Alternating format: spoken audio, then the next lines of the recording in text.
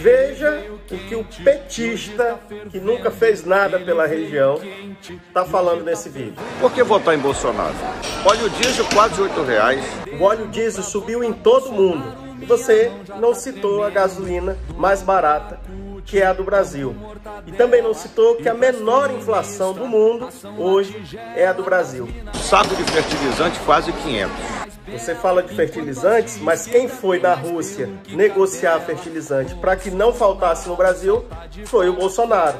E a energia elétrica? A energia na nossa região é tão cara porque o teu governador Helder Barbalho se recusou várias vezes em baixar o ICMS. Nós temos a energia mais cara do país, não é por culpa do Bolsonaro, e sim de governos como o seu.